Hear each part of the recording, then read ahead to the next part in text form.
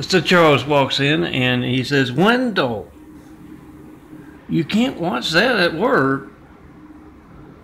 What is that? And Wendell explains it's not his uh, doing, being broadcast on uh, his computer. He's got a desk job with the uh, cops, corrupt, cowardly California cops.